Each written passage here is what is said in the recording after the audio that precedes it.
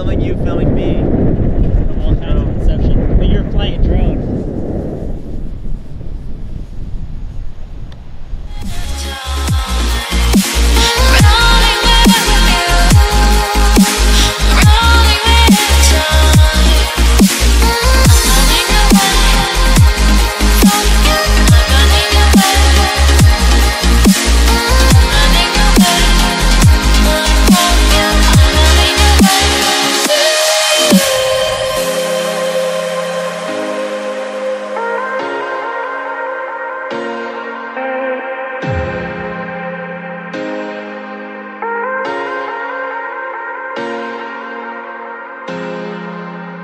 How's it going? It's Karl, aka Karl Drum Tech, and uh, today we're here in Torrance, California. And the man behind me needs no introduction, but in case you do need it, his name is Huei Yuan Pan. What's up, guys? Uh, my really good friend and um, you know close co-worker, I guess, for what we do here with the um, social media. And today we want to talk about something that's really cool. Um, Huei created a new product called the Marching Percussion Playbook. And uh, if you guys didn't know anything about it, why don't we have Huei talk more about the Marching Percussion Playbook? Yeah. So, Karl, thanks for having me on. First off, good to see everyone, all the uh, AKA Karl Drum Tech fans out there. Um, but the new book that I've been spending about the last four or five months writing now has been a collection of all the handouts and questions and you know all the information that I've been getting online over the last year and a half or so. You know, Some requests too, right? As far as like stuff that they want more explanations of, right? Absolutely, because I was doing live streaming lessons on Periscope, and with every scope session, I would get more questions, uh, not only during the sessions, but afterwards through direct messages and things like that, that I could answer in one 30 or one hour, 30 minute or one hour video lesson. So uh, compiled all those questions and for the first time ever compiled all the exercises that I use to teach those concepts and also the in-depth explanation.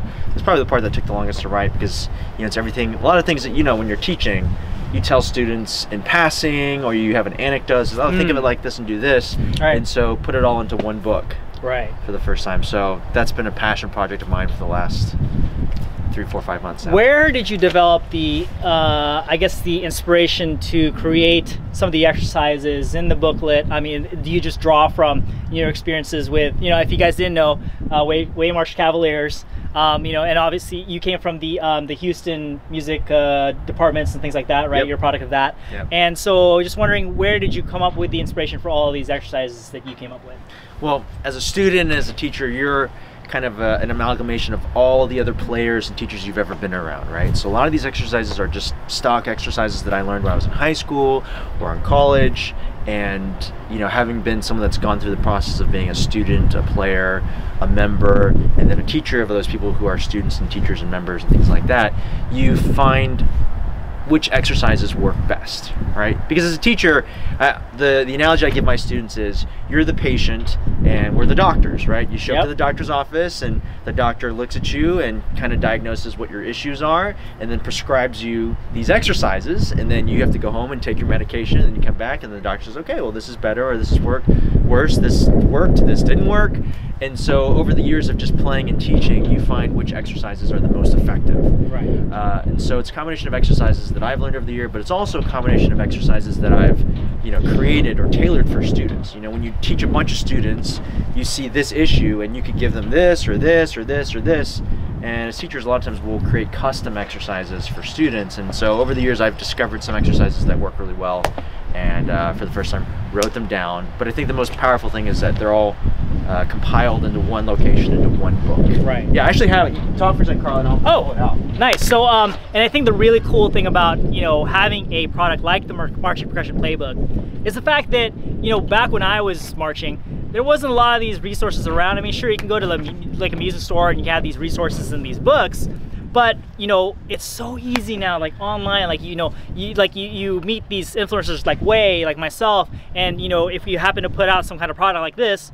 There it is. Like you can just buy it online. You have it within seconds. So that's the really cool thing about it. Yeah, But with the, the technology we have now, it's not just a physical product, which is, you know, this is the physical product. Once I finished writing everything, I put it together, uh, and I'm going through this like proofing stage now because you're always refining and making things better. But these are all available as digital downloads right now, which, you know, as of a year or two years ago, I didn't know how to do. But Mhm. through the process, you learn how to create the, the products, you put them online. So you can just click, download, boom, boom, boom, and then, like Karl said, within seconds, you have access to these materials. Right.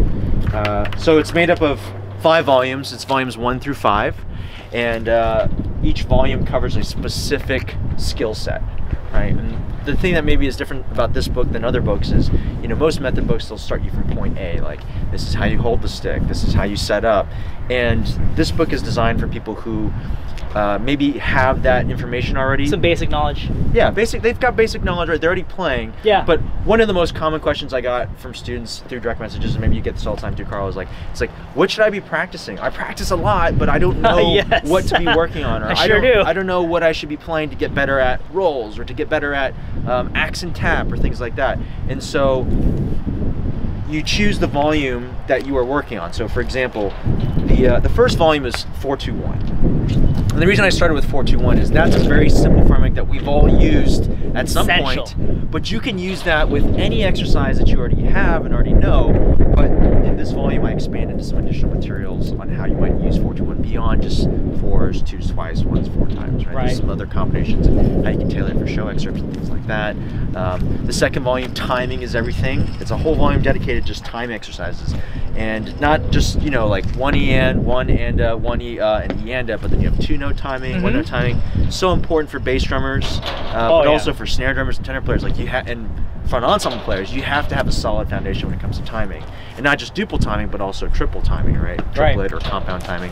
Uh, third volume is all about the diddle rudiments, because Mm. again, the question that we hear most often is, how do I make my paradiddles better? How do I play paradiddle diddles faster? You know, what are the breakdowns that I should be working on? So it's an entire volume dedicated to the diddle rudiments. Fourth one is all about rolls. Ooh. Rolls, right? Because uh, if you've ever taken an individual audition, you know that you go in there and they say, okay, play eights, okay, play stick control or double beat, play accent tap, and then okay, play chicken and a roll play triplet diddle, some roll exercise, and immediately that is often a drop-off point for students. Oh, yeah. They're rocking on all this other stuff, and then you say, hey, play a roll, and then maybe it sounds, you know, the roll quality is. Yeah, it's choked off. And I think like rolls are probably one of the hardest things to learn, especially for a beginner. Like when you first started learning it, I mean, as teachers, we can give them all the information in the world, but it's like unless you have the right muscle groups and correct dexterity, Yep. you're not going to be able to play a good roll. Yep, absolutely. And it takes time too. It's not going to happen overnight. And so you, you know, in this chapter, like I said, all these chapters have in-depth explanations on uh, what I would tell a student in a private lesson. So, you know, what I tell people like this is the closest thing to having me as your drum tech or as your private lesson instructor that you're going to get when it comes to this kind of information. Right. And so it's a whole issue dedicated to not just open double stroke rolls, but also buzz rolls because those are what I use as the foundation to build up to the double stroke roll. And then the fifth volume, which I just finished a few weeks ago, the final volume, is called "It's All About the Inner Beats." You know, and um, The part that we all neglect.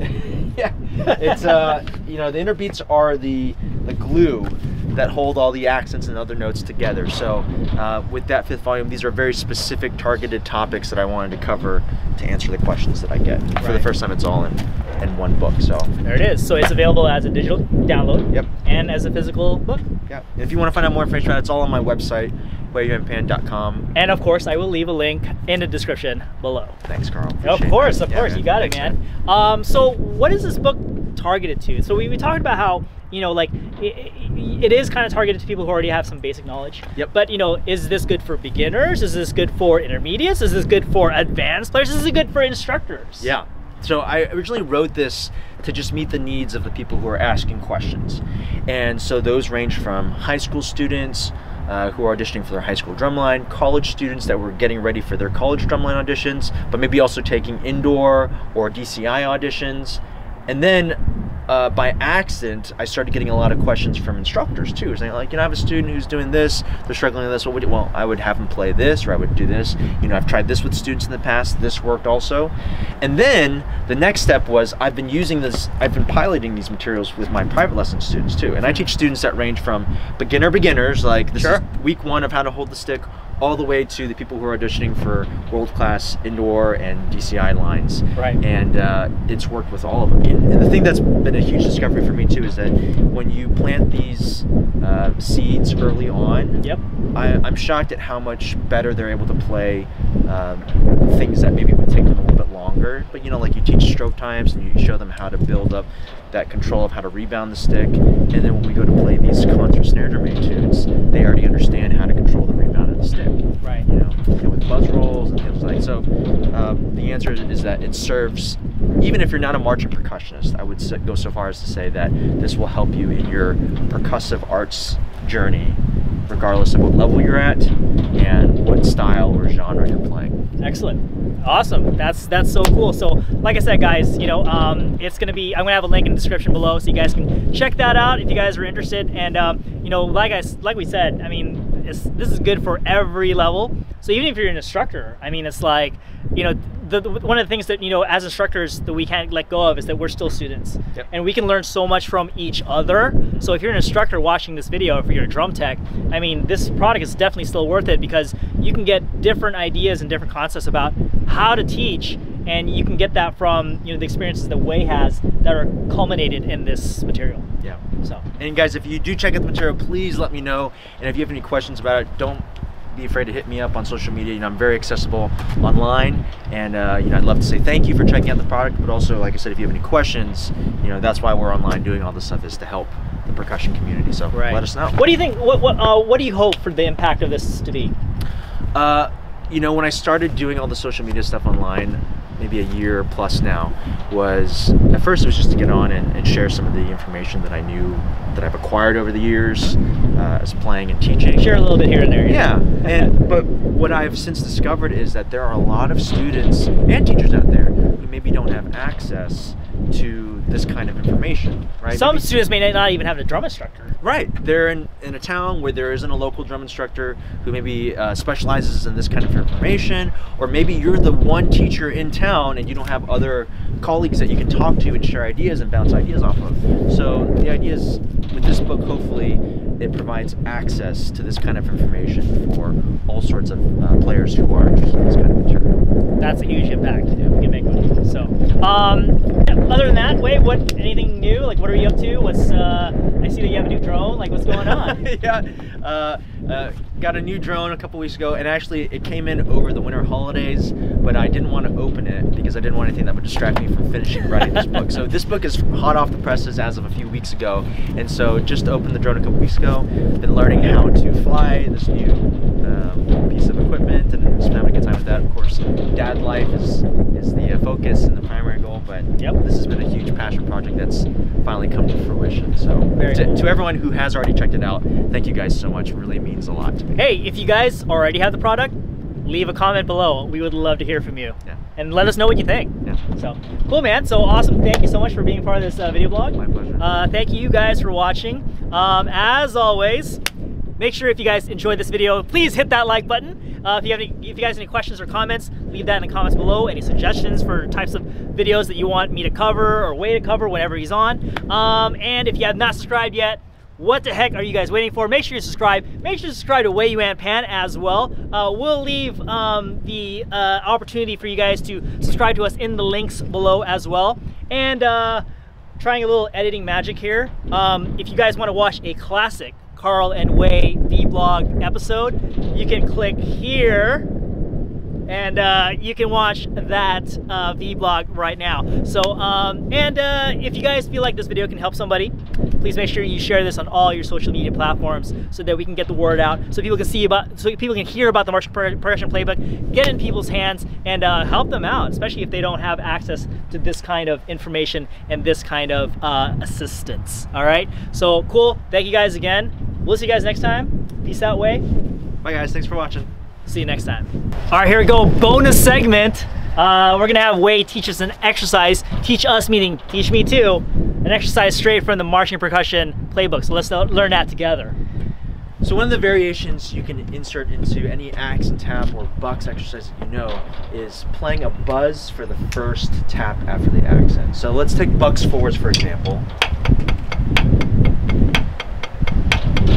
And we're gonna replace that first tap with a buzz. And what's the reason for that? Why are we doing that?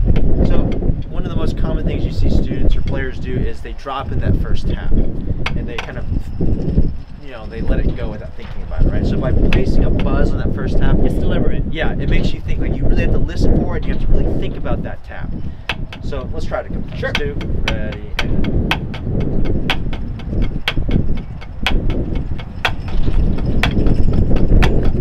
And stop. So you notice that we're really paying attention to that first buzz. The second thing is you want that buzz to be secco or dry or short. Uh, a lot of times when you're trying to stop the stick, you're doing like a half downstroke, but you really need to get that stick to stay down before you play that buzz. If you rebound up to this like mezzo forte height and then you try to play buzz, you'll hear a long buzz. So this is an auditory cue for you to say like, hey, you really are getting a downstroke before you play that. Got it. Yeah. So let's try like twice now. Yeah. One, two.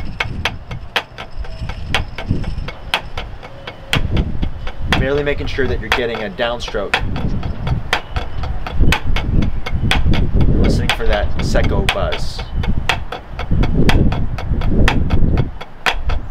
I don't know about you guys, but I've never done this before, so I'm kind of struggling. yeah, and you can, you can, I mean, and when you first start doing it, you're gonna feel these, you know, different hand pressures in your hand, but it also also helps you kind of control the signal there and hold on the stick. You can also do the same thing. This is where it gets a little more complicated because right now the stroke types are down, buzz, tap, up. Right now we could also do this in a Bucks threes format, which would look like this. Right.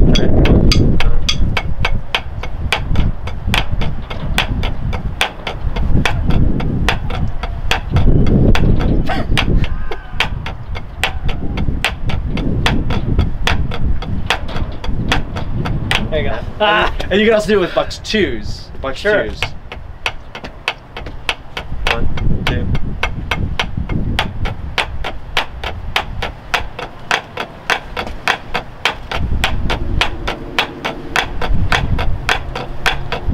Struggling. Yeah, uh, well, and that's normal when you first do this first time.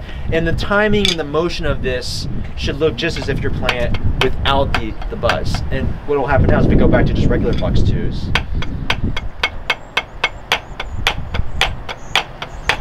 You really, you know, you have a new awareness for that first tap. Yep. Yeah. Absolutely. So Cool. try it out. Try it out. See what you guys think. Run